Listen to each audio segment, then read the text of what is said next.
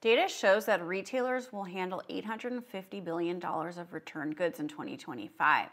Data from Happy Returns, a UPS owned reverse logistics company, shows that nearly one in every 10 retail returns in the US involves fraud. Retailers now lose $76.5 billion a year to this fraud problem. So, to slow the losses, Happy Returns, which specializes in store returns for online purchases, is testing a new AI tool that flags fraudulent returns before refunds go out. The new AI tool is called Return Vision. It starts working the moment a shopper initiates a return online. The system looks for unusual patterns across return timing, frequency, and location.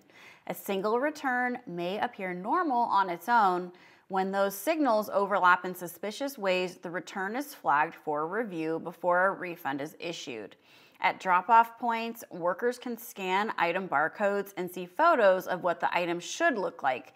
They can reject obvious mismatches on the spot.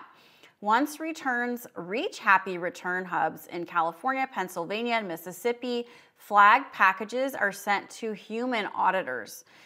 The items are opened and photographed, including images of the front, back, and identifying labels.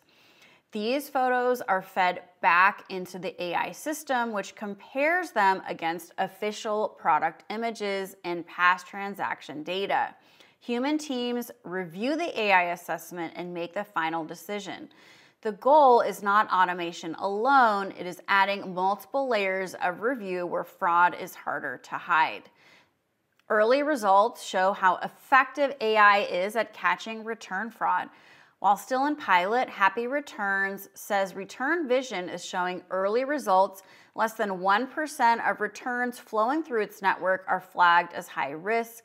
Of those flagged returns, about 10% are ultimately confirmed as fraud. The average prevented loss per confirmed case is just over $200. Customers find and buy. So there's a lot of bad shopper behavior out there, a lot of scam, a lot of fraud, a lot of risk today. But companies like Happy Returns are experimenting with AI to find suspicious patterns and protect retailers from being taken advantage of.